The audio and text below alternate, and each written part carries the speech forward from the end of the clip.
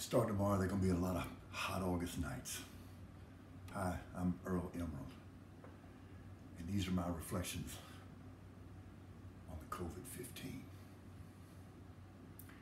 SA's fine, the sun shines most of the time, and the feeling is sway backed. Bellies grow, it all hangs low, but you know I keep thinking about getting my waist back. Now I'm Lockhart, Texas, born and raised, but nowadays I'm wider than two doors. Beer is fine, but lots of foam, nachos call, and I can't fight no more. I'm fat, I said, to all who dare, and I look down and I am breaking this chair. I'm fat, I said,